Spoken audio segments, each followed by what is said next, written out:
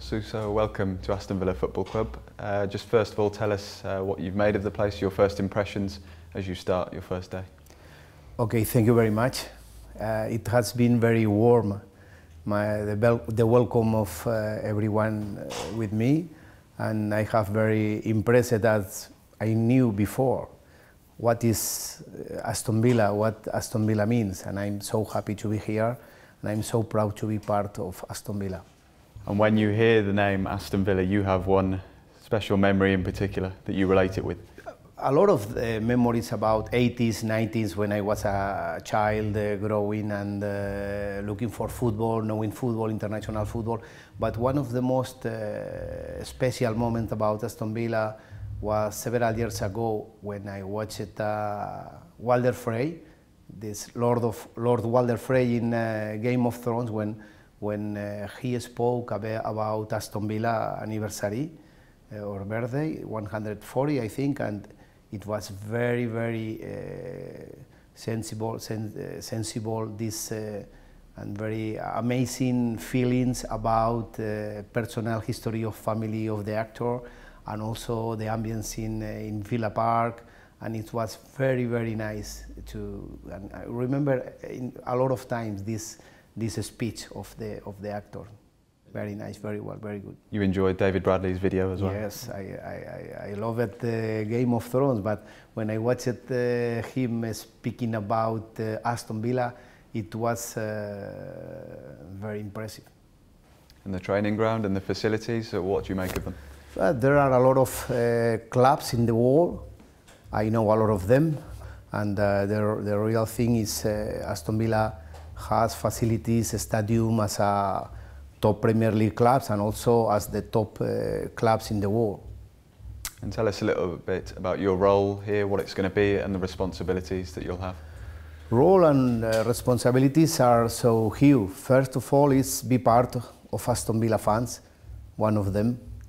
Be part of uh, Aston Villa Soul, uh, sensations, results, uh, happiness, sometimes not happiness uh, be part of, of Aston Villa. It has been made me proud to be. And uh, as a specific role or specific uh, responsibilities I am a sport director. And I am uh, working, I am uh, helping coaches, I am helping academy, helping uh, management to improve the level of recruitment, of everyday small details, small things to improve the, the level of the performance and results of the club. We've got a new head coach in Dean Smith and, and his staff. Have you had a chance to sit down and discuss the future with them?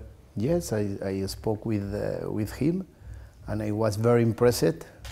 And also I am very happy to be uh, part of his team also and be together part of uh, Aston Villa mm, important moments in a new start and uh, we are happy to be and uh, we spoke a lot of time about football about our players about our goals about our aims about what is happening around us and what uh, we will do to do to increase it the, to increase the level of of performances results and happiness of fans You've been involved in football a long time. Tell us a little bit about your experiences, in particular with Valencia mm -hmm. and Atletico Madrid. First, I was, uh, I am a former player, former professional. I played in Valencia, in Espanyol of Barcelona, in Villarreal, in Logroñés in Spain, in First Division, in Premier League. And uh, when I finished, I started to work. I started to work as a lawyer, small time. And after that, uh, for maybe 20 years, I has been working in, in football field as a one year and a half uh, sport director of academy in Valencia. And after that, several years in Valencia, we won two leagues, one, one uh, Super Cup, one uh, Europa League in Göteborg uh, against Olympique de Marseille. After in Atletico, we won uh, against Fulham in, uh, in Hamburg, and also we won Super League against Inter de Milan in Monaco. In Monaco. And we made some great success before, and I have been involved in football, I remember all my life, because when you love football and you start to be a kid and you start to, to walk and to run, the first thing uh, be part of my life has been the ball. And you've had a few days now to settle in. Just how much are you looking forward to the future and working with the new, the new staff and the new management? Yes, uh, for us, future is not future; it's now.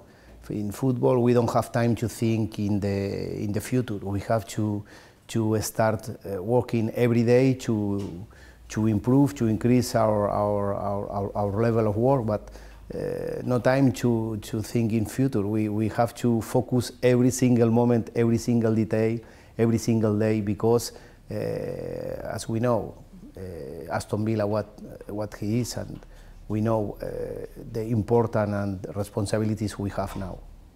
Thank you and good luck. Thank you. Thank you very much.